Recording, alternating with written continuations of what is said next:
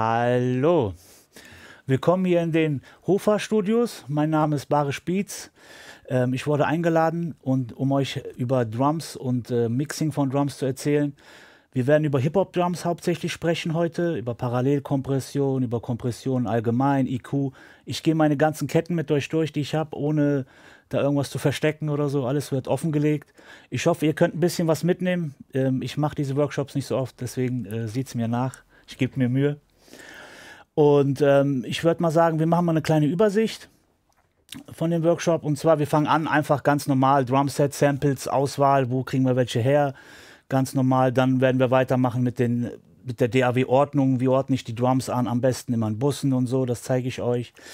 Danach gehen wir rüber EQ, Kompressor, Distortion etc. Dann schauen wir uns das an, machen ein bisschen rum, hören uns an, wie es anhört, was man machen kann, was nicht. Dann äh, gucken wir uns an, wie wir Kick und 808 zusammenkriegen, also wie wir das machen, dass die sich gegenseitig nicht stören in den Frequenzen und sowas. Dann geht es weiter, Drumbus-Bearbeitung, Parallelkompression, wie gesagt. Dann gucken wir, dass wir das Drumset mit der Melodie und den Harmonien und so in Einklang bringen, dass sich das gut anhört. Und zum Schluss gibt es dann nochmal ganz entspannt allgemeine Fragen. Äh, wenn ihr Bock habt, könnt ihr mich dann irgendwas fragen und äh, ich versuche dann alles zu beantworten, was ich kann. Dann würde ich mal sagen, geht's los. Direkt in der DAW. Dann hören wir uns erstmal einen Beat an, den ich gemacht habe. Allgemein hören wir uns an und dann schauen wir mal, was wir da alles raushören.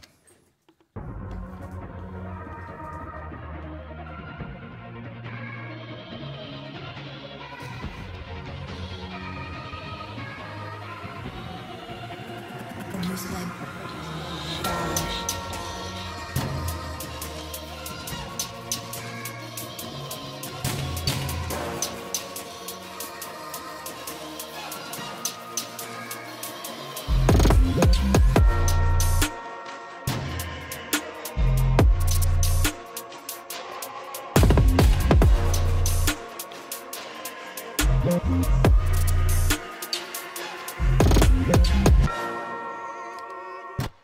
gehört habt, ist es ein Drillbeat, etwas moderneres. Äh, die Drums sind sehr, sehr laut und sind im Vordergrund. Das ist auch das, was wir erreichen wollen natürlich im Hip-Hop. Die Drums sind das wichtigste Element äh, im, im Hip-Hop-Bereich, auch in der neuen Popmusik. Ohne Drums, die knallen, funktioniert es halt einfach nicht. Deswegen würde ich sagen, gucken wir uns das auch an.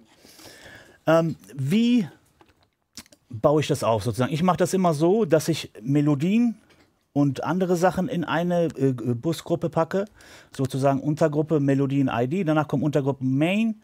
Da sind meine ganzen Samples drin und so. Die werden aber halt auch gebounced, egal ob es ein Synthi ist oder ein Sample. Ich bounce das alles, damit ich das alles als äh, Wave-Spuren habe.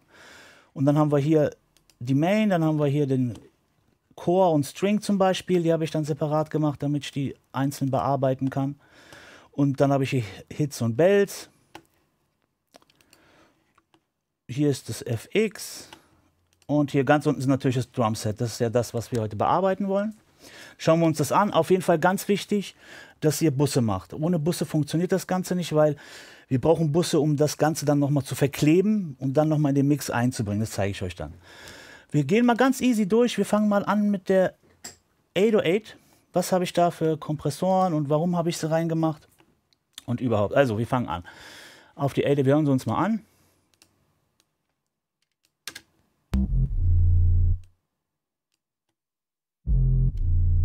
Ja, ganz easy 808 eingespielt.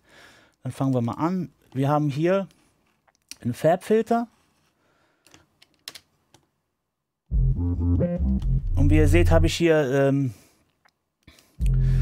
sozusagen das auf die Seiten gelegt und habe halt in den Seiten und mitten, also die Seiten habe ich gar nicht bearbeitet, sondern nur die Mitten, sozusagen die Seiten weggemacht, damit die Mitten durchkommen, so ein bisschen, weil Bass ist ja meistens Mono, obwohl dieser Bass aus Stereo ist.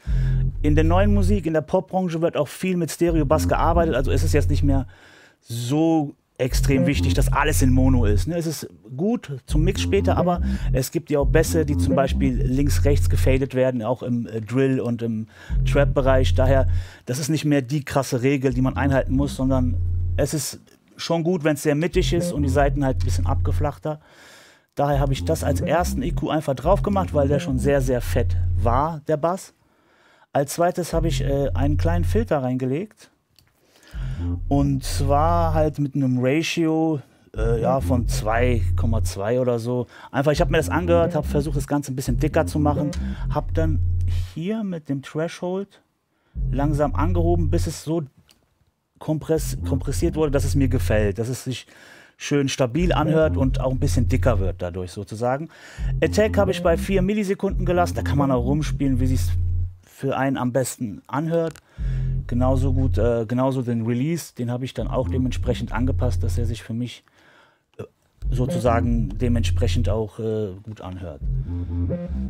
Das ist der Kompressor dazu, einfach nur so ein bisschen dicker gemacht. Dann natürlich Saturation, das würde ich sowieso immer empfehlen. Da könnt ihr auch verschiedenste Plugins nehmen. Ich habe hier ganz minimal, wie ihr seht, nur so ein bisschen, damit ähm, einfach ja, Anteile in den Höhen nochmal hervorkommen und dass man den Bass auch, sage ich mal, auf äh, kleineren Monitoren wie, wie ähm, Kopfhörer oder Handy Handys und also Bluetooth-Boxen, da gibt es ja nicht so tiefe Frequenzen, die man hören kann, sondern da muss man halt mit oberen arbeiten und dass der Bass hörbar ist, macht man halt immer ein bisschen Saturation rein.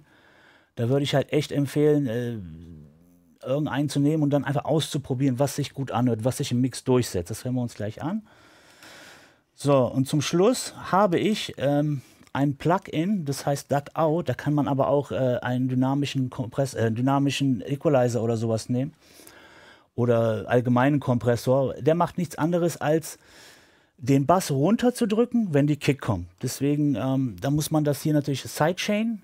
Dann nimmt man hier einfach den Sidechain und äh, stellt dann das auf Kick ein und dann kann man das auch schon hören. Und zwar, wenn die Kick einfach auch gar nicht drin ist, wird er das schon machen. Ihr hört es, wenn die Kick kommt, so, dann drückt er das runter. Man kann das ja mal übertreiben. Ne, ihr hört es, dann drückt er den Dakter den runter so. Dann macht man halt nicht so viel, dann macht man nach Gehör, damit es auch äh, dann sozusagen die Kick sich darin einbettet. Es gibt verschiedene Möglichkeiten. Wir nehmen die Kick mal dazu. So, ein bisschen lauter machen. So, bei der Kick habe ich wirklich diesmal ein bisschen äh, heftig mit Plugins gespielt, weil ähm, es hat mir einfach gefallen, dass ich da so den Sound habe. Daher habe ich hier halt auch wirklich einiges an Plugins reingehauen. Fangen wir mal ganz oben an. Einfach, ich habe erstmal ein bisschen Gain rausgedreht, weil ähm, ich hatte das zu laut sozusagen aufgenommen, damit er halt in die Plugins nicht sozusagen zu heftig reingeht und das dann gleich irgendwie übersteuert und man kaum spielen kann, habe ich es ein bisschen runtergedreht. Habe dementsprechend danach ein IQ gelegt. Ähm, habe so bei, ja, bei bis 30, würde ich sagen, kann man eigentlich bei Kicks meistens alles äh, komplett mit einem Cut wegmachen. Da, da ist hier sozusagen nicht, da ist nichts mehr. Da ist es nur noch Gerümpel und es macht den Mix nur noch äh, dick, obwohl man den dort gar nicht dick haben will und dann wird es halt nicht mehr so laut und so. Deswegen habe ich das hier so rausgenommen.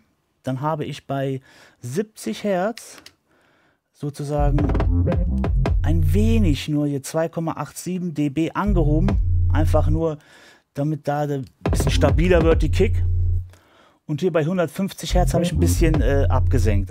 Einfach nur, weil ich fand, wenn man das hier so hoch macht, dass es einfach dann auch zu dick war. Weil der Bass braucht auch noch so ein bisschen Platz. Und dementsprechend habe ich das so eingestellt. Einfach vom Gehör her. Das muss man dann einfach hören und dann passt das schon.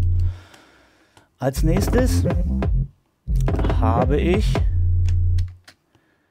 ähm, den PewTech EQ P1A reingemacht. Und zwar, das ist ja so ein berühmter EQ, den gibt es ja von allen verschiedenen Firmen. Und den würde ich wirklich auf Kicks und auf Drumsets allgemein immer wieder äh, empfehlen. Das benutzen wirklich sehr, sehr viele Audi-Ingenieure und Produzenten, einfach nur, weil sich das bei Hip-Hop zumindest am besten anhört. Okay, ich, ja, kann ich zeigen. Ich zeige euch gleich, wie ich das äh, gruppiert habe. Ähm, sofort, nachdem ich äh, das erklärt habe. Ähm, wie gesagt, ich habe hier den, äh, es gibt den Puke-Trick, der funktioniert eigentlich so, dass man anhebt und gleichzeitig auch absenkt. Und das macht man halt eigentlich im tiefen Bereich, sodass das zwar äh, dicker wird, aber trotzdem durch das Absenken irgendwie auch stabiler in diesem Bereich. So hört sich jedenfalls für mich an. Da habe ich bei 60 ähm, Hertz habe ich äh, zwei geboostet und aber auch vier rausgenommen. Man kann ja mal rein und raus machen, die Plugins. Wir machen mal die Kick alleine, machen mal alle anderen raus. So. Mache ich die raus. Ihr hört es direkt, das ist nicht mehr so stabil und so dick. Und wenn ich den wieder reinmache, dann merkt ihr, da ist äh, viel mehr Kraft in der Kick und viel mehr Energie. Als nächstes habe ich noch einen genommen, aber diesmal den MQ5, der ist ein bisschen die abgespeckte Version davon. Und hier habe ich nur leicht äh, 2 dB geboostet bei 3K und äh, ja, bei 300 Hertz habe ich auch nochmal so einen kleinen Dip reingemacht, damit das einfach, ähm, ja, äh, damit es einfach nicht so matschig wird. Ne? Sonst äh, geht die Kick irgendwie so auf und dann ist es zu viel Bass und ist nicht mehr so solid, wie man sich das so vorstellt. So, ähm, kannst du mir kurz zeigen, wie du den Logic so gruppiert hast? Nutze selbst Logic. Hab das bis jetzt noch nicht so ganz gepeilt. Klar kann ich das zeigen. Und zwar, wenn du jetzt zum Beispiel die, äh, die, die Drum, Drumgruppen hast, dann machst du einfach von hier mit äh, nach oben drücken und alle anklicken, ja. Dann gehst du auf rechte Maustaste und hier steht dann normalerweise Spurstapel erzeugen. Dann gehst du da drauf. Ich kann es ja mal mit äh, mal kurz versuchen, indem ich einfach mal zwei rausziehe. Ja, wenn wir jetzt die beiden als Spurstapel machen wollen, dann klicken wir hier und dann klicken wir die beiden an. Dann rechte Maustaste, Spurstapel erzeugen und dann musst du hier Summenstapel nehmen. Ordnerstapel wäre zwar auch eine Gruppe, aber die kannst du dann nicht mehr bearbeiten. Das heißt, du kannst da nicht mehr ähm, Plugins oder so reinsetzen. Ich kann erstmal einen Ordnerstapel machen, hier, dann passiert das. Dann hast du hier den Ordnerstapel. Aber du siehst hier, du kannst nur, oder auch im Mixer siehst du das dann auch noch besser, Du kannst ähm, hier nur, das ist die Spur, laut und leiser machen, die beiden äh, äh, einzelnen Spuren. Sozusagen, das ist nur eine Summierung, wo du laut und leiser machen kannst. So, wenn wir das wieder auflösen, rechte Maustaste, Spurstaffel reduzieren, dann sind die wieder frei. Aber ich würde immer empfehlen, wenn du Drums hast, immer Spurstapels erzeugen, also eine Gruppe. Ähm, einfach hier Spurstapel erzeugen, dann gehst du hier auf Summenstapel, ganz wichtig erzeugen und zack, da hast du deine Summenstapel und dann kannst du auch hier, wenn du in den Mixer gehst, halt siehst du halt auch, du hast hier, kannst du weiter routen oder kannst du hier äh, deine Kompressoren und Plugins alle reinmachen und dementsprechend auch weiterarbeiten. Ich würde das auf jeden Fall für die Übersicht immer alles ähm, definitiv in Gruppen halten, damit du auch schnell zugreifen kannst und das hilft ungemein. So, jetzt reduzieren wir das mal wieder und löschen das mal wieder. So, machen wir weiter. Wir waren hier bei der Kick.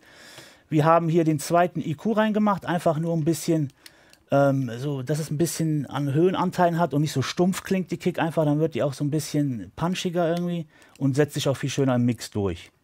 Hören wir uns beide mal an.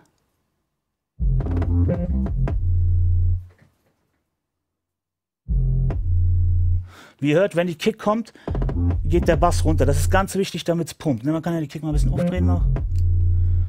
So. Und wenn ich jetzt wieder, wenn ich jetzt zum Beispiel das, das, das Gedackte hier rausnehme, dann hört ihr den Unterschied.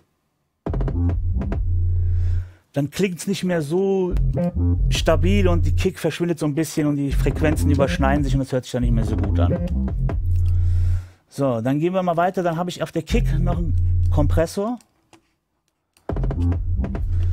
Ganz easy Threshold habe ich halt reingedreht, bis es sich für mich gut angehört hat. Das ist hier bei 24,9.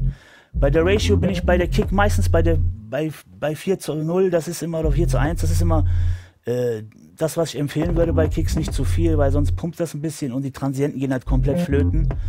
Deswegen Attack bei 10 Millisekunden, da kann man halt gucken, wenn man das jetzt voll reinzieht, dann äh, ist natürlich so, dass die Transienten immer mehr verschwinden und der erste Schlag sozusagen wird dann komplett äh, runtergedrückt. Dementsprechend machen wir das mal wieder so auf 10, sodass wir so den ersten Transienten durchlassen können und die Kick halt trotzdem lauter wird, weil sie die, tief, äh, die weniger hohen Teile hochgehoben werden sozusagen.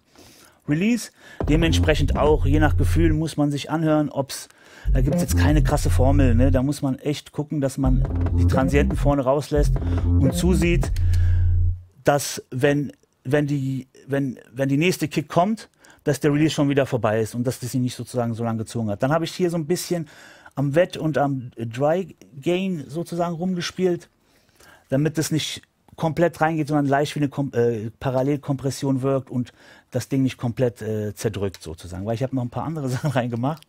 Ich habe ein bisschen übertrieben, ja, aber das hat auch Spaß gemacht. So. Als nächstes, damit das so ein bisschen, äh, ja, Saturation kriegt, so ein bisschen sich durchsetzen und dicker wird, habe ich äh, den guten alten Sausage Fattener genommen. Da gibt's äh, Meinungen, die gehen auseinander. Ich persönlich benutze den sehr oft, weil ich den einfach vom Flow her, vom Arbeitsfeeling extrem gut finde und es, meiner Meinung nach ist der für Hip-Hop auch echt sehr, sehr gut geeignet. Ne, wir machen den mal an und aus. Machen wir nur die Kick.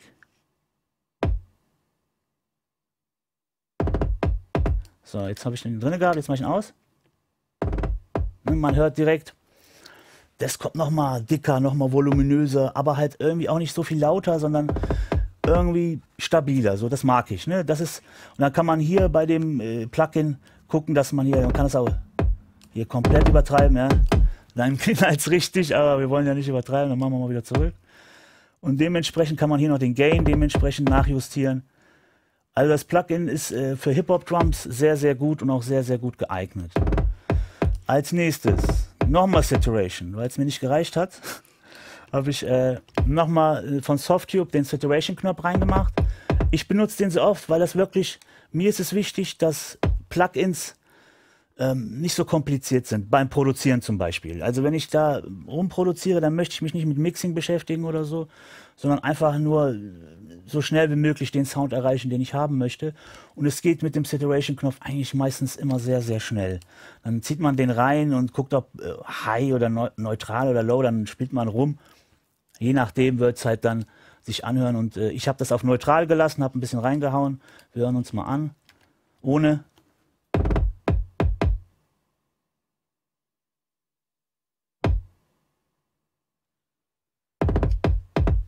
So, jetzt machen wir den mal rein, damit ihr den Unterschied hört. Manchmal sind es sehr subtile Unterschiede, also ihr müsst auch schon genau hinhören.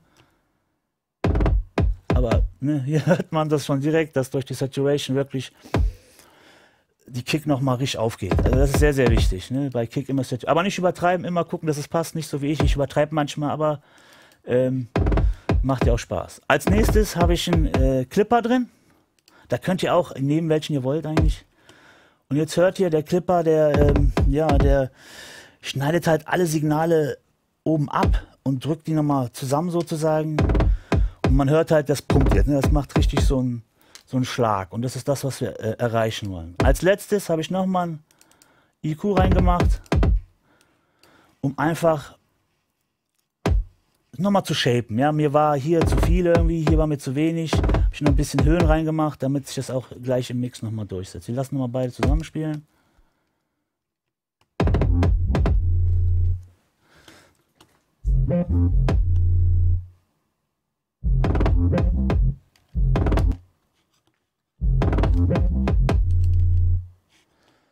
Ähm, wie meinst du, wie sollte man Kompressoren nutzen, sowohl für Synth als auch bei den Drums. Ja, wie sollte man die nutzen? Man sollte sie auf jeden Fall nicht zu viel aufdrehen. Ne? Also man muss halt gucken, dass man, ja, bei, bei Kicks würde ich immer von Ratio ausgehen zwischen 4 zu 1 bis 8 zu 1. 8 zu 1 dann halt eher bei Parallelkompression oder so und Du musst halt gucken, dass du den Attack immer richtig einstellst. Das ist bei Kicks sehr wichtig. Ne? Wenn du die Attack auf Null machst, dann nimmt er die ganze Kick und zerdrückt die, hast gar keine Transienten mehr. Deswegen musst du den Attack ein bisschen kommen lassen, so wie es dir passt, so dass es schön ist. Und ähm, äh, beim Release genauso. Da guckst du halt, dass wenn die nächste Kick kommt, dass der Release schon wieder oben ist und nicht zu lange braucht. Das siehst du auch. Teilweise ist das ja Grafik da, grafisch dargestellt oder ähm, äh, du hörst es auch. Irgendwann hört man das auch ganz klar raus. So, das waren die beiden äh, Kick und Bass, was sehr wichtig ist. Wie gesagt, wichtig ist, dass man versucht, die Kick da rein zu basteln in den Bass. Ich mache das hauptsächlich immer mit Duckings, weil das pumpt irgendwie dementsprechend und in Hip-Hop ist das äh, ja auch mittlerweile wie im Elektrobereich auch, dass die Kicks schön pumpen ne, und nicht nur so irgendwie im Hintergrund plätschern, sondern das ist ein, eines der wichtigsten, wenn nicht das wichtigste äh, äh Signal und Spuren im Beat. So. Als nächstes nehmen wir mal die Snare dazu. Ich habe ich gleich zwei, weil ich die gelayert habe. Hören wir die uns mal an.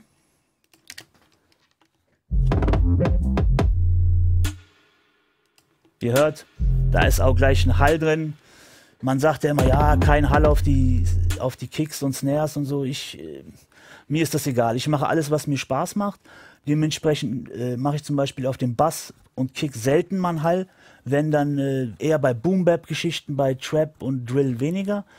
Aber hier kann man zum Beispiel ganz schön auf die Snare einen sehr langen Hall legen, habe ich auch gemacht über einen Bus. Ähm, da gehen wir mal rein. Aber ich zeige euch vorerst mal, wie ich das äh, sozusagen bearbeitet habe, das Signal. Und zwar beide habe ich mit dem gleichen Signal eigentlich bearbeitet. Hier habe ich, die Snare hatte schon sehr, sehr guten Sound. Dementsprechend äh, habe ich nicht viel gemacht. Ich habe ein bisschen hier bei 40 Grad mit 6 dB einfach so ein bisschen runtergekattet. Und hier war irgendwie eine Frequenz, die war so sehr, ja, muddy, würde ich mal sagen. Das ist aber meistens bei 300 Hertz so rum, sind viele, ich sag mal, äh, ja, viele Instrumente und so haben da hier einen Punkt, wo es halt immer ein bisschen blöd klingt. Wir hören uns das mal an.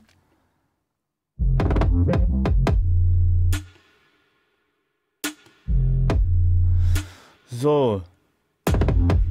Wir hören uns die mal alleine an, die Snares. Also die eine erstmal, ne? Damit ihr wisst, was ich gemacht habe. Jetzt mit.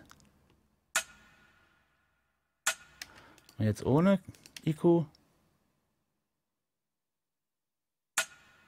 Ihr hört, das ist ein bisschen weniger Energie in den tiefen Bereich. Nicht viel, sehr subtil, aber in Kombination mit der anderen seht ihr, da habe ich ein bisschen was, äh, habe ich ein bisschen sozusagen, na, ich habe gar nicht angehabt, äh, sozusagen ein bisschen woanders gedippt und zwar hier und die hier, einfach nur damit die beiden, das hat sich so gut angehört, wenn die beiden zusammen waren und als ich das dann runtergezogen habe, dann hat es sich noch viel besser angehört. Ich kann es euch mal zeigen. Also zusammen gelayert hören die sich so an.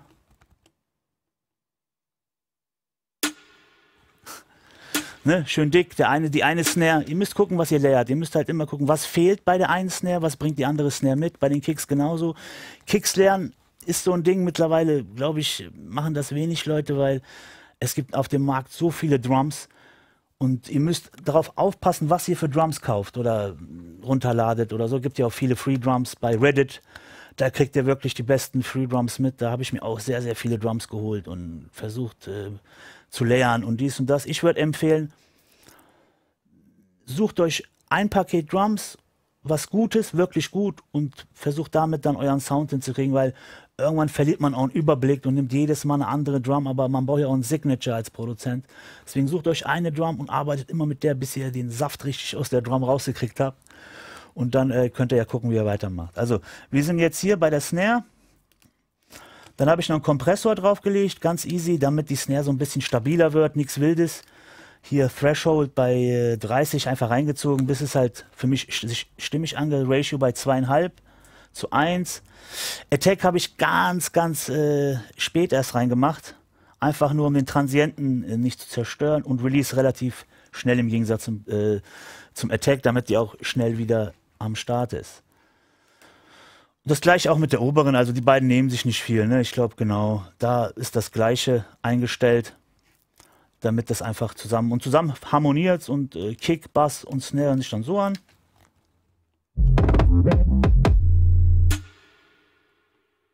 Ne, ist schon saftig. Ähm, ja.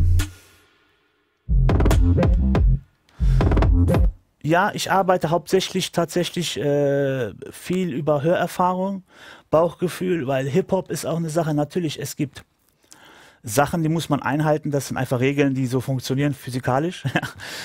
Aber ich würde sagen, probiert euch aus. Ja, neuer Sound entsteht ja nicht, wenn man immer das Alte macht, sondern es gibt immer neuere Plugins, immer geilere Plugins, Plugins, die dir extrem viel Arbeit abnehmen und dadurch auch äh, die Arbeit an sich ja kreativer wird, wenn man sich nicht mehr mit den ganzen technischen Zeugs beschäftigen muss.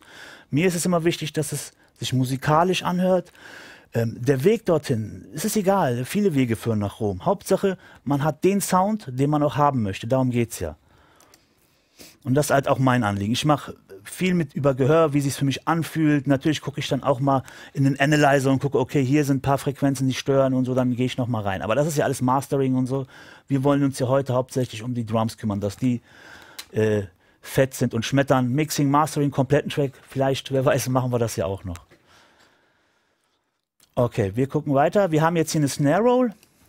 Die ist auch ganz entspannt äh, bearbeitet worden. Hier habe ich halt bei der Snare relativ äh, viel sozusagen ähm, rausgenommen in den Tiefen, weil ich das einfach nicht gebraucht habe. Ne? Das ist äh, einfach zu viel gewesen. Wir hören uns das mal an. Na, die Snare Roll geht auch links, rechts, ist die auch gepennt.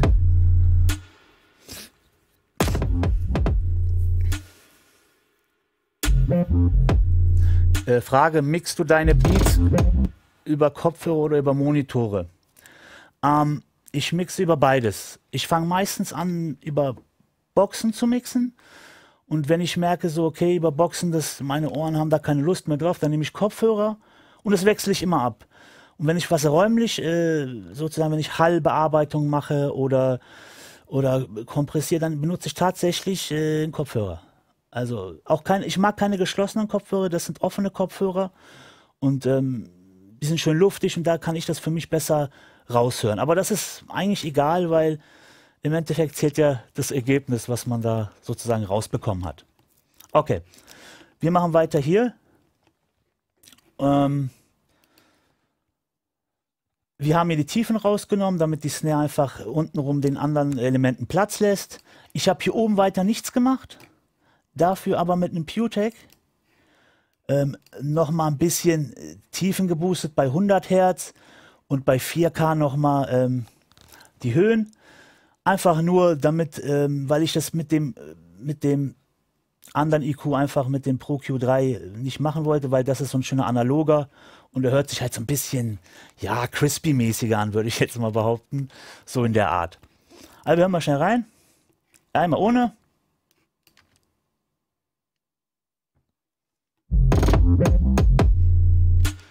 Einmal ohne alles.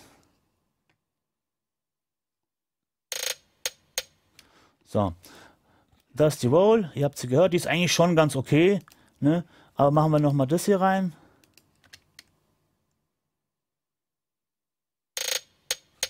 Ne, ihr hört sofort, es klingt schöner, es klingt, ähm, wie soll ich sagen, bei Hip-Hop ist auch wichtig, dass das Drumset und so edel klingt, nach Luxus so. Oh, da ist, äh, ne, da ist was drin und so. Das muss sich anhören, als ob da dran gearbeitet wurde. Das könnt ihr schon mal merken bei Hip-Hop.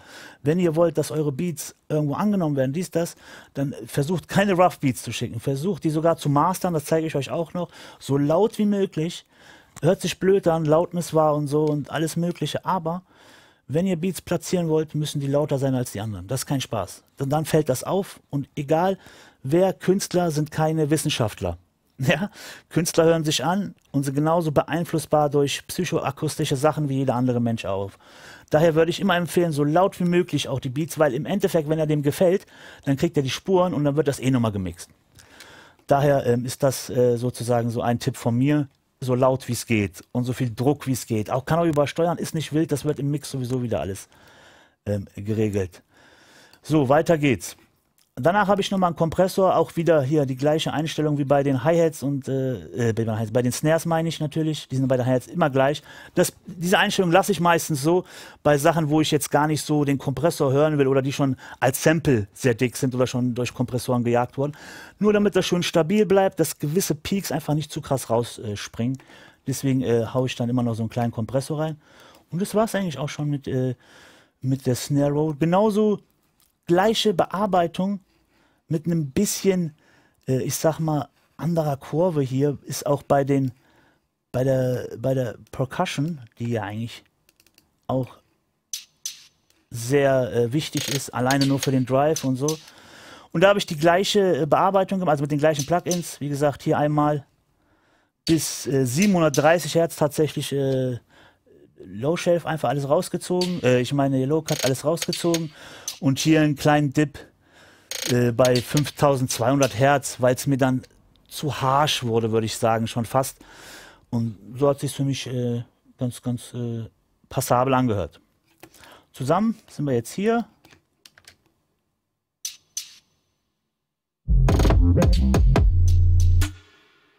Ja, die könnte man theoretisch auch noch ein bisschen lauter machen. Ja, so knallt es, so würde ich es lassen. Weiter geht's äh, mit den Hi-Hats. Ähm, ist wirklich so, da, da habe ich die halt äh, eingespielt und ich habe die halt nach links und rechts komplett gepennt, äh, äh, gepennt am Anfang. Also schon beim äh, Beat produzieren. Ich habe den Beat gemacht und dann habe ich alles gebounced. Alles in einzelne Spuren. Damit ich alles auf Wave habe und alles das schön dementsprechend dann äh, mixen kann, würde ich auch, euch auch empfehlen, um den Rechner zu entlasten, übersichtshalber immer schön Wave bouncen und dann kann man damit auch sehr, sehr schön arbeiten. Man sieht auch alles ne, als Wave-Spur, wenn mal irgendwo was ist, was nicht passt, dann sieht man das ganz genau. Und das ist auch noch so ein Tipp. Versucht immer alles auf Wave zu bouncen, ist entspannter für den Rechner und auch äh, übersichtlicher, meiner Meinung nach. Ne? So, wenn man natürlich fertig ist und weiß, da wird nichts mehr äh, verändert oder so. Als nächstes die Hi-Hats. Die haben auch wieder ganz standardmäßig bei mir immer ein IQ und dann halt nochmal den, äh, so ein, so ein Saubermach-IQ sozusagen, nenne ich den immer ja, so den Hausmeister. Und danach kommt hier der Polierer, der macht das dann nochmal schön. Äh, in den oberen Bereichen lasse ich dann immer noch mal ein bisschen Vintage-Flavor rein. Und halt auch hier wieder der gleiche Einstellung. Da habe ich nichts verändert. Die habe ich einmal eingesetzt so und hat, hat sich bei, bei den ganzen äh, restlichen Drum-Signalen hat sich einfach für mich schön angehört. Open Hi-Hat genau das gleiche. Gucken wir auch noch mal kurz rein.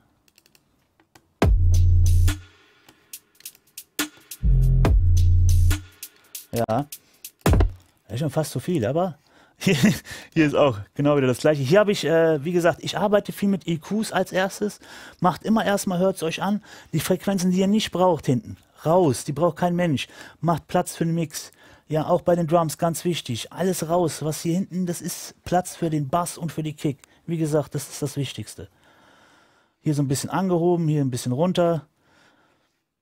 Ja, das, wie gesagt, ihr müsst gucken, jedes Sample ist auch anders. Ne? Dementsprechend müsst ihr es euch anhören und entscheiden, was ihr da äh, äh, boosten oder auch nicht boosten wollt. Die Shaker habe ich auf links-rechts getrimmt, sozusagen, dass da ein bisschen Spiel ist, nicht so langweilig. Hören wir uns das mal an.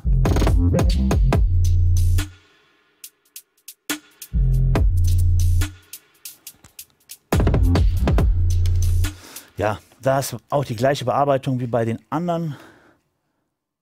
Gehen wir mal rein hier. Ja, hier auch wieder alles weg. Ne?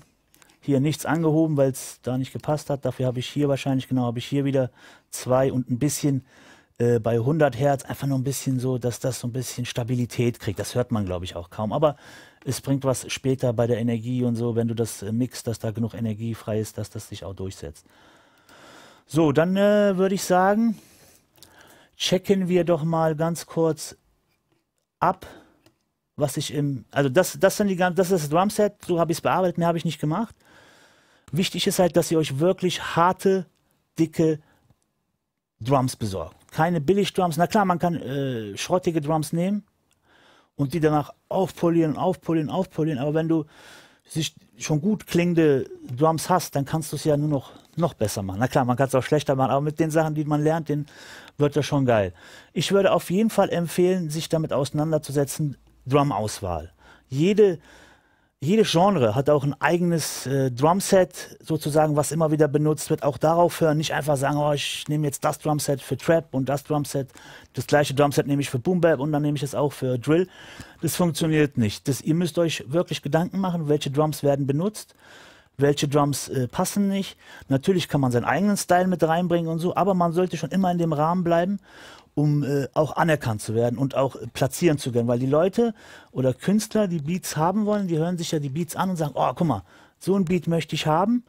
Und dann denken die sich, boah, geil, alles ist geil, nur die Drums, die du mir geschickt hast, die sind scheiße. Oder die passen nicht oder sonst was. Versucht euch an den großen Produktionen zu, sozusagen, äh, sich so dahin zu schielen und da einiges abzuschauen, weil das ist das, was auch alle anderen Künstler wollen. So würde ich das jetzt mal erklären. Gut, weiter geht's. Ähm, jetzt kommen wir hier zu dem, äh, zu der Busspur. Was ich da gemacht habe, wir können ja einmal komplett ohne Busspur anhören. Und dann machen wir die Spuren separat rein und dann hören, also die äh, Plugins separat einzeln rein und hören wir mal, was passiert. Ihr hört, das ist gar nicht so schlimm, das ist eigentlich ganz cool so, aber irgendwie fehlt mir halt das, wenn man das nicht macht, das, das Drumset verklebt, das sagt man immer so, aber dass es dann so homogener wird, sich organisch miteinander verbindet sozusagen. Ähm, kannst du Sample Packs empfehlen für fette Hip-Hop-Drums? Ich bin ehrlich, ähm, ich kann dir jetzt kein bestimmtes äh, Sample Pack nennen, weil ich, wo, ich sagen würde, boah, das ist das. Da musst du wirklich mal YouTube gucken, durchlesen, Foren und so. Ich habe halt meine mit der Zeit immer gesammelt und ich habe jetzt meine, die ich benutze. Und wenn ich dann mal wieder was Neues suche, dann mache ich auch, gehe ich auf die Suche, höre mir Drums an, vergleiche die, auch mal einen Analyzer dazuziehen und so. Und, ne? Es gibt ja meistens, kann man die sich ja anhören. Dementsprechend äh, würde ich das auch so machen. Also ich kann dir nichts empfehlen. Ach doch, vielleicht bei Reddit. Da, da kriegt man äh, Free Drums und auch wirklich viel Schrott, aber auch sehr, sehr viele gute Drums, auch wirklich Industrie-Standard-Drums, die kriegst du da auch. Einfach mal abchecken, sich ein bisschen schlau machen, so einen Link oder so habe ich jetzt leider nicht. Aber ich denke mal, wenn man sich da ein bisschen schlau macht, dann äh, ist, das, ist das kein Problem. Heutzutage da ist das easy cheesy. So, was haben wir gemacht im Bus? Wir haben als, ich habe als erstes natürlich äh, einen äh, Buskompressor genommen, um das wie gesagt zu verkleben. Da gucken wir mal, was ich gemacht habe. Wir ohne, ohne äh, Buskompressor hört sich das so an.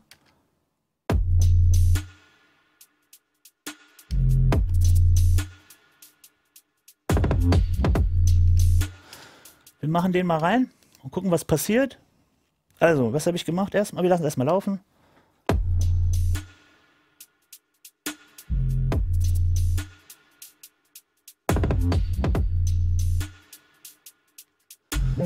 Ne? Also, er wir sehen ja hier, er macht schon relativ viel. Ne? Also er geht bis 8 dB kompressieren wir das Ganze. Ich habe die Attack äh, natürlich wieder relativ äh, hoch angesetzt, Release wieder relativ niedrig. Make-up habe ich halt so eingestellt, äh, das können wir uns anhören, dass es sich halt äh, mit, dem, mit dem hier einfach verträgt. So, jetzt wir es rein. Ihr hört auch, das fängt auch an zu pumpen. Nicht zu viel, aber es soll auch ein bisschen pumpen. Normalerweise will man ja nicht, dass äh, was durch den Kompressor so krass pumpt. Aber hier ist es okay, weil wir machen ja auch weiter und zwar direkt ähm, mit einem, ja, mit einem Distortion sozusagen oder ich habe ihn jetzt Clipper genannt, weil das ist ein äh, Plugin von ja, von der DAW an sich von Logic und die macht ihren Job sehr, sehr gut. Ähm, auf die Fragen komme ich gleich nochmal. Lass mich das nur schnell fertig machen. ähm, dann gucken wir mal, was hier jetzt passiert. Ich mache den erstmal aus.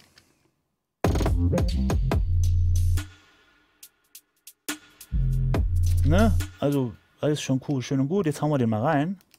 Da habe ich auch das Ding komplett hochgezogen, dass er halt auch alles mitnimmt. Drive nur ein bisschen rein. Output auf minus 1. Mal sehen, was passiert. Aha. Ne, das kommt schon ganz anders. Ne? Es kommt jetzt ein bisschen dirtier, aber hat auch diesen Punch, den ich möchte. Den machen wir raus. Ja, ja, der Punch ist direkt ganz anders. Genau. Und das äh, auch immer drauf auf, äh, wenn es klappt. Wenn ihr jetzt Drums habt, wo es nicht geht, dann nicht. Aber ich würde immer mal so ein bisschen, ja, so ein bisschen äh, Distortion, Saturation immer reinmachen. Danach habe ich einen Transienten Designer reingemacht, um einfach nochmal so ein bisschen die Transienten rauszuholen, weil sie durch das ganze Kompressieren ja ein bisschen ver verloren gehen. Und dementsprechend äh, werde ich jetzt hier auch mal äh, zeigen, was damit passiert. Und jetzt noch ihn rein. Ihr merkt, ist ein bisschen spitzer, ist ein bisschen so, wie soll ich das erklären, kommt schöner rüber, hat mehr Höhen. Höhenanteile sind hier, werden auch nochmal hochgetragen. Es hört sich edler an. Es hört sich einfach schöner an. Das einfach ausprobieren, mal gucken, ne? Und weiter geht's. Da habe ich hier so ein ähm, äh, ja, Mark-IQ, das ist eigentlich so ein Mastering-IQ. Ich mag den aber sehr gerne, weil der das nochmal alles so schön poliert. Der bringt das nochmal irgendwie auf ein anderes Level und das hören wir uns auch nochmal an. Ich habe hier auch nicht viel gemacht. Hier habe ich die Höhen tatsächlich bei äh, 2,5 Kilohertz um 0,5 dB angehoben und bei 40 Kilohertz und drüber, das ist aber auch eine Spezialität von diesem Plugin, dass der über 40 Kilohertz sozusagen nochmal anhebt. Wir hören das nicht, aber es soll, ah, so, ja, soll halt irgendwie im Mastering-Bereich nochmal so, den, so diesen Glanz und Schliff geben. Stimmt schon irgendwie, das macht auch irgendwas, aber erklären kann ich es jetzt nicht so genau. Deswegen hören wir uns das einfach an. Habe ich aber auch nochmal drei reingehauen, also ab hier oben. Dann hören wir uns das jetzt nochmal an mit, also erstmal ohne.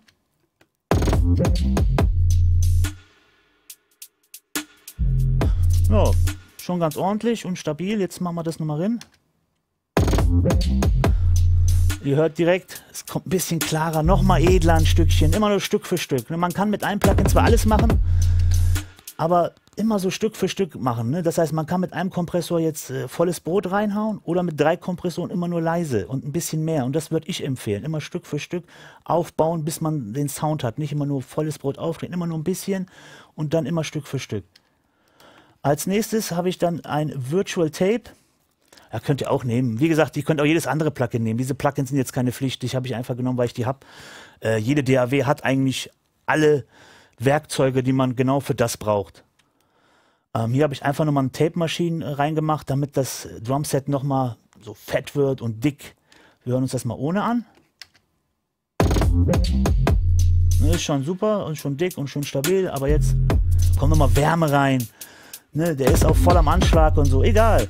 Hört sich geil an. Hier kann man den Input halt verändern. Mir ist auch nicht. Also rein, raus oder rein.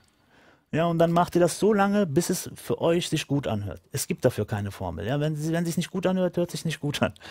Wenn es sich gut anhört, hört sich gut an. Hier habe ich halt, wie gesagt, so 5 dB anscheinend so reingemacht, hat sich von meinem Ohr gut angehört.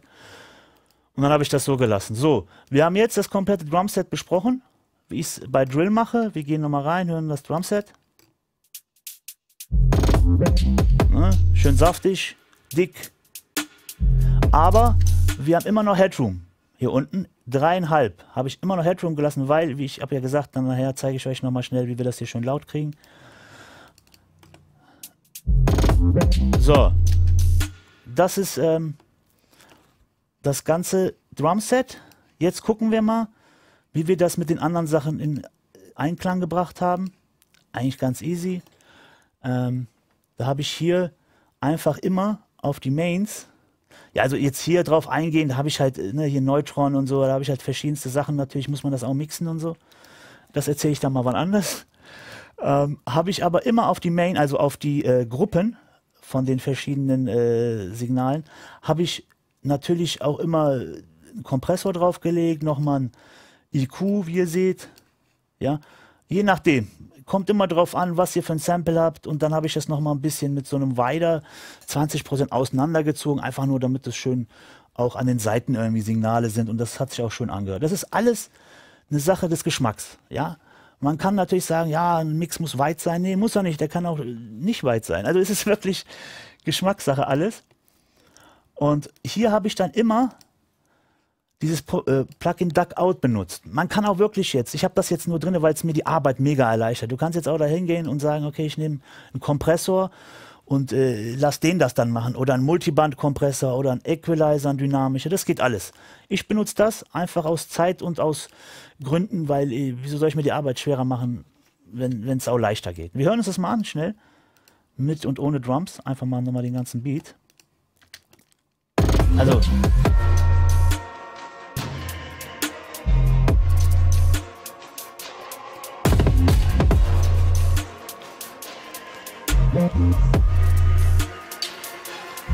Natürlich, jetzt ist der Bass übertrieben laut und so. Das äh, ist auch so gewollt von mir, weil ich euch das ja auch zeigen wollte. Ähm, aber die Hauptsache, was ich euch sagen will, ist, versucht immer die Melodie ähm, wirklich, wenn die Kick kommt beim Hip-Hop, bei Drill oder bei Trap, äh, bei Boom Bap teilweise auch, versucht die immer sozusagen zu ducken, runterzudrücken. Irgendwie, wenn die Kick kommt, damit die schön Platz hat und das hat auch so einen geilen, das hat einen schönen Effekt. Das hat wirklich einen schönen Effekt, dass das auch pumpt. Darum geht es ja. Ne? Es soll pumpen, pumpen, pumpen. Die Drums sollen nach vorne, die sollen einfach nicht mehr aufhören zu zerschmettern. Ja? Das ist so, was ich immer mehr denke, wenn man Hip-Hop hört, dann will man auch geile Drums und es soll ja auch knallen. Dementsprechend auf alle, hier auf den habe ich das, wie ihr seht. Auf den Chor habe ich das, wie ihr seht. Auf die Hits habe ich das sogar, wie ihr seht. Und wir hören uns das mal das Ganze ohne Drumset an. Nur die Melodien und so und die Samples. Hört ihr das? Es hört sich eigentlich alles total schräg an. Also es hört sich an, es wird leise, lauter, es ist ein bisschen verzerrt, voll komisch. Aber im Kontext, wenn ich lasse es mal laufen.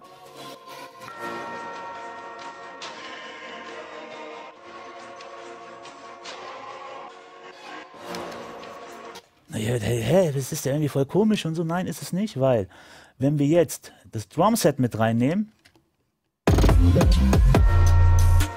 das ist das, was gefehlt hat. Und jetzt ist es voll. Jetzt fehlt auch nicht. Jetzt hört man es auch nicht mehr so raus, dass es, ähm, dass es irgendwie übersteuert oder teilweise nicht so ein schöner Sound ist und es weggedrückt wird und so. Aber das will ich ja. Das ist Hip-Hop.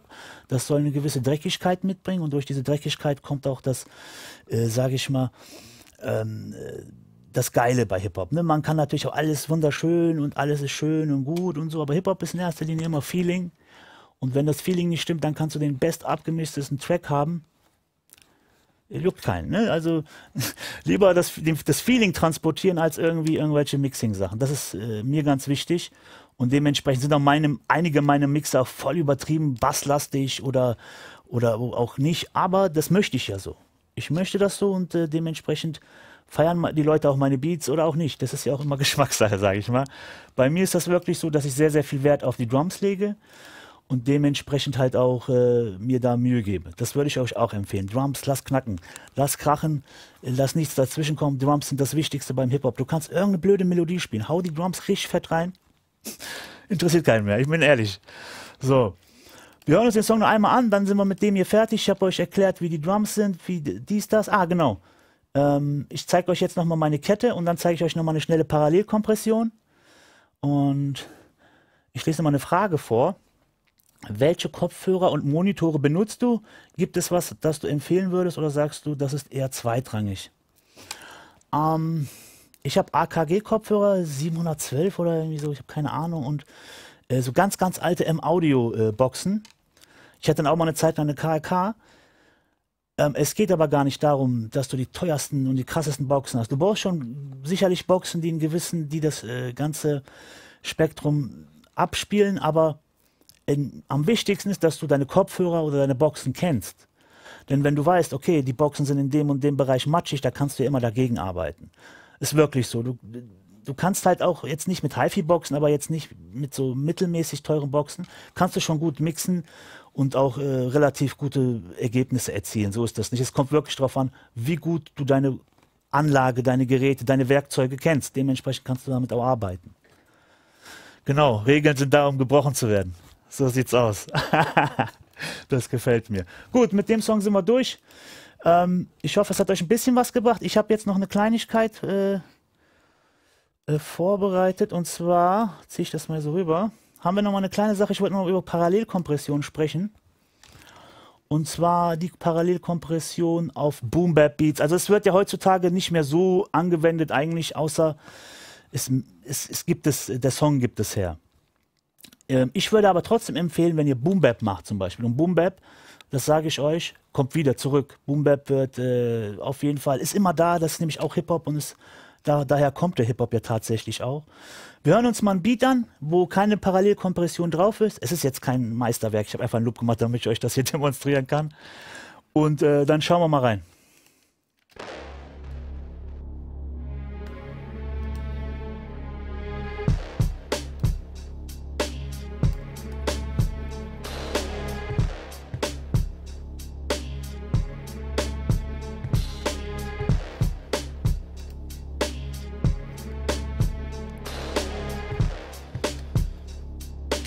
So, wie ihr seht, ganz easy äh, Hip-Hop. Ah, sorry, die Mastering-Kette. Zeige ich euch gleich. Ze versprochen, zeige ich euch gleich. Dann machen wir die jetzt Parallelkompression, mache ich danach nochmal schnell die Mastering-Kette. Ähm, ja, hier sind drei Spuren, ganz easy, damit ich euch das zeigen kann. Ähm, das ist der Drum Loop.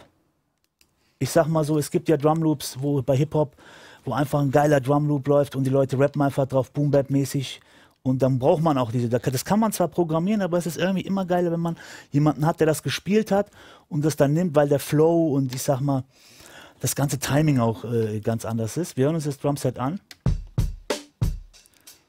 Ja, das ist eigentlich ganz cool. Was habe ich gemacht? Ich habe einfach nur ein PewTech draufgelegt, bisschen die Bässe angehoben hier bei 100 Hertz, also besser nee, aber die Tiefen und auch gleichzeitig ein bisschen gesenkt. Ja, ein bisschen weiter gemacht, dann hier ein bisschen geboostet bei äh, 3K. Dementsprechend auch wieder ein bisschen runtergeholt. Wir machen mal an und aus. Ohne. Mit, ist ein bisschen dicker. Schön. So, aber wir wollen ja, dass es ein bisschen mehr knallt, dass es auch ein bisschen, sage ich mal, moderner sich anhört und so. Und deswegen machen wir jetzt eine Parallelkompression. Das heißt, wir nehmen dieses Drumset, kopieren es einmal und machen dann auf dieses Drumset sozusagen, äh, drücken wir das komplett zusammen. So dass es richtig fett ist, aber die Transienten komplett verschwinden. Deswegen haben wir ja den Original-Loop. Davon benutzen wir die Transienten.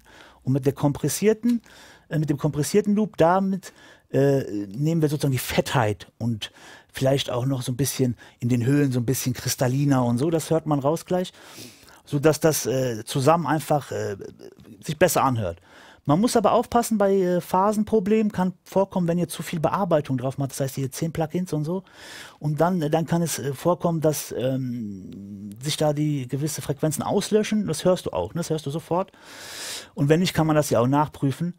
Und da würde ich immer aufpassen, ne? immer mit Vorsicht, äh, Parallelkompression, aber es klappt schon meistens. Wir hören uns das jetzt mal an. Und was habe ich dann gemacht sozusagen? Wir schieben den mal rein. Das jetzt ohne. Und jetzt mache ich ihn einfach mal an. Ihr hört genau, es kommt knackiger, Höhen sind ein bisschen präsenter, die Tiefen haben mehr Druck. Und das ist ja das, was wir erreichen wollen. Ne? Was habe ich gemacht? Ich habe hier sogar tatsächlich ähm, bei anderthalb K ein wenig rausgenommen und zwar 1,5 dB, weil es mir zu harsch wurde, wenn es danach in den Kompressor ging. Aber das habe ich wieder rausgeholt. Ähm, ich habe hier einfach Ratio von 8, Input reingehauen, hier ein bisschen am Output gespielt, Attack komplett rein, also so, ne, also so schnell wie möglich, damit der auch die Transienten komplett zerstören kann, weil die brauchen wir nicht, die haben wir ja beim Original dementsprechend den Release so lang wie es geht, damit das auch äh, nicht abklingt und das einfach die ganze Zeit gesquashed ist. Darauf habe ich hier dieses Plugin, das, äh, das gibt so mal so, so ein bisschen Schimmer. Da gibt es verschiedenste Plugins, da müsst ihr mal gucken. Ähm, ich glaube, es gibt eins, das heißt, äh, ich glaube, Fresh Air. Müsst ihr mal gucken, das ist sogar umsonst. Das ist teilweise sogar besser als noch das. Das könnt ihr auch zum Beispiel äh, benutzen, um Sachen aufzupolieren. Ich glaube, ist von Slate Digital, kann das sein? Auf jeden Fall äh, Air Fresh oder Fresh Air, das ist das gleiche und ist umsonst. Und dementsprechend habe ich hier halt äh, die Höhen, wir können es jetzt mal anhören. Wenn ich das ausmache,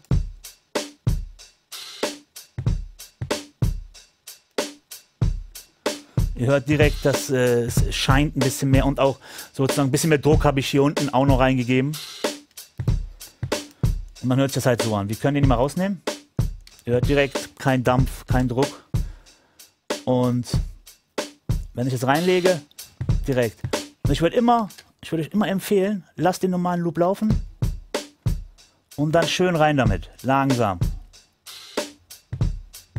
Man kann es halt auch übertreiben, ne, hier. Ne, aber das wollen wir ja nicht. So tief, ja, das sitzt. Natürlich kann man jetzt noch äh, äh, dementsprechend nochmal IQ ein bisschen arbeiten, vielleicht noch ein Kompressor, vielleicht nur hier und da. Das ist dann aber Feinjustierung. Das, das kommt immer auf den Loop drauf an und was man natürlich auch erreichen möchte. Eine kleine Sache habe ich noch, bevor wir dann nochmal rübergehen und äh, ich euch die Mastering-Kette erkläre. Und zwar ähm, habe ich, du hast, du kannst ja einmal diesen ganzen Loop nehmen und das äh, sozusagen squashen und dementsprechend äh, äh ja, äh, drunter mischen und dass es sich dick anhört. Du kannst aber auch sagen, du hör mal zu, ich brauche die Snare gar nicht und die Hi-Hat, weil wenn ich die mit reinmache, dann hört sich das äh, zu viel an, ist zu viel Höhen, hört sich harsch an, tut in meinem Ohr weh. Ne? Das passiert, kann passieren. Dann kann man entweder gegenarbeiten mit dem IQ oder da gibt es ja die äh, witzigsten Plugins hier, Woost 2, glaube ich, oder oh, weiß ich gar nicht, wie die anderen heißen, aber so äh, Plugins, die dann diese Harshness rausnehmen, die dann halt sowas, die arbeiten wie ein äh, äh, wie ein dynamischer IQ sozusagen, aber halt nur an den Frequenzen, die halt so als Peaks rausgehen. Das kann man aber auch mit dem anderen IQ selber einstellen. Ne? Das, das wollen wir nicht machen. Wir wollen einfach, dass die Kick und die Snare zum Beispiel äh, fett wird. Dann würde ich, das, das würde ich dann so machen, dass ich den Drum Loop nehme, der ist hier, und dann zerschnibbel ich den in seine Einzelteile. Das heißt, ich habe hier oben nur die Kick. Hier unten habe ich die Snare, hier habe ich Hi-Hat. Das sind nochmal andere Kicks, die habe ich nochmal einzeln geschnitten. Und dann kann man eigentlich ganz normal die Kick zum Beispiel nur drunter legen, unter den normalen Loop. Ja, das probieren wir jetzt mal. Ja. Ohne und jetzt mit. Na, dann kann man hier ein bisschen. Dann hört ihr schon, Druck ist da. Und das gleiche kannst du auch zum Beispiel nochmal mit der Snare machen. Haust die Snare nochmal rein.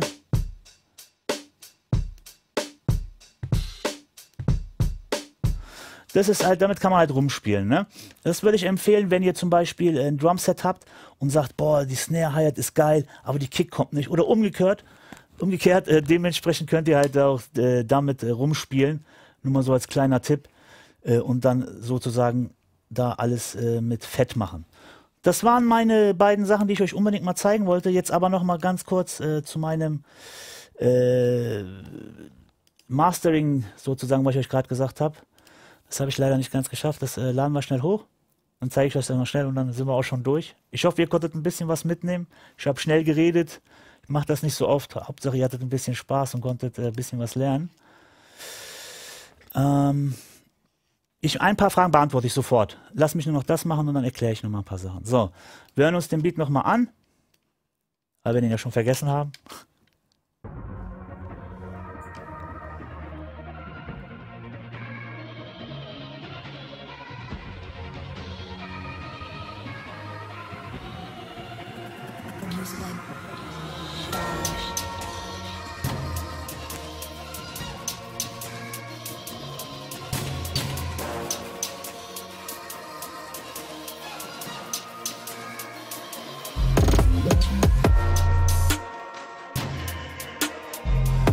Das ist jetzt äh, ohne Mastering ähm, Kette.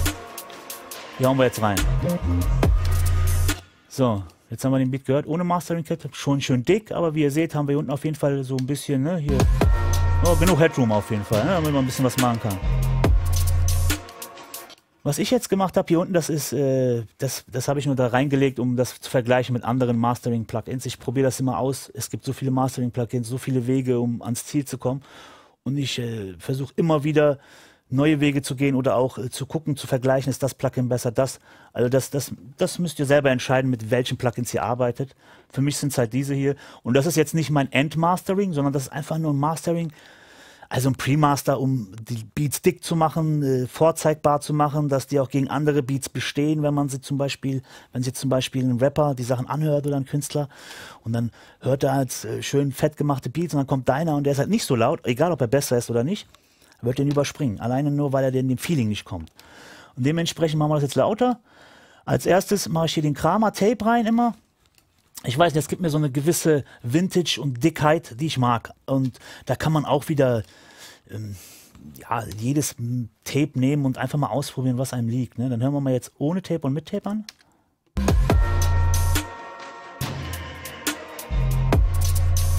Mit. Ihr hört, die Drums sind wuchtiger gleich so ein bisschen. Ne? So, danach direkt wieder ein Kompressor zum Verkleben des Ganzen, weil ich will ja auch, dass die Melodien und die Harmonien und die ganzen Samples mit den Drums sich ja auch nochmal verkleben. Das heißt ja nicht nur, dass die Drums kleben müssen, das muss ja alles irgendwie zusammen sein. Und dementsprechend äh, haue ich dann meistens nochmal hier so einen Buskompressor rein. Man kann auch einen Mastering-Kompressor nehmen oder so, es ist eigentlich egal. Hauptsache man verklebt und es hört sich gut an. Einstellung ganz easy hier. Äh, Attack auf eine Millisekunde, so relativ, also schneller als bei den Kicks auf jeden Fall. Und, aber auch nicht, das ist auch schon sehr, sehr langsam. Ne? Und äh, Release auf automatisch, sodass sich da gar nichts passiert. Make-up einstellen, wie, wie, es passt. Ratio habe ich hier auf 4. Man könnte auch auf 2 gehen, aber ich habe es jetzt einfach mal auf 4 gemacht. Äh, ja, hat so gepasst. Hören wir uns das an, ohne mit.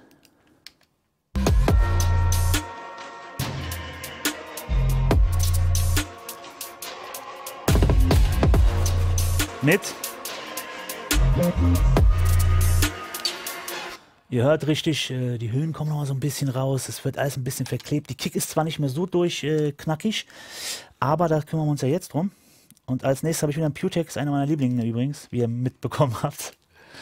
Und hier wieder Boost rein, wieder ein bisschen was rausgenommen. Bei, äh, ja, was habe ich, 12K habe ich hier ein bisschen was reingemacht und so. Also nochmal ein bisschen aufpoliert das Ganze, einfach hinhören. Das ist wirklich alles, da müsst ihr, da gibt es keine Formel für. Da müsst ihr einfach gucken. Manchmal ist auch weniger mehr und manchmal ist auch mehr weniger. wie es passt, also einfach ausprobieren. Ne? Mit, ohne, mit. Ne? Es war sehr, sehr subtil, aber das macht viel aus. Als nächstes habe ich nochmal ein IQ. Und hier habe ich, ähm, wie gesagt, das ist wieder dieser Mark IQ 4. Und hier habe ich halt wieder bei 5K 2 angehoben und bei 2,5K auch nochmal so um die 1 dB. Ne, das war es auch schon. Einfach nur, um das Ganze nochmal so ein bisschen, äh, ja, ich sag mal, glanzvoller oder auch ein bisschen, äh, ja, sich äh, luxuriöser anhören zu lassen. Ja, weil das ist wichtig, ne, beim Rap ganz wichtig.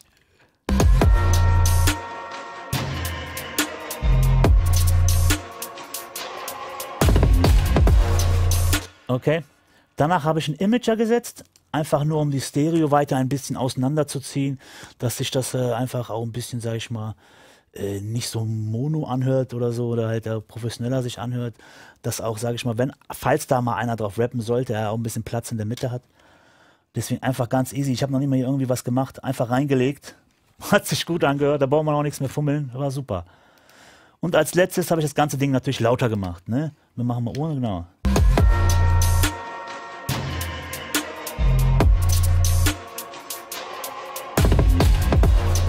Ohne. Jetzt machen wir mal den rein.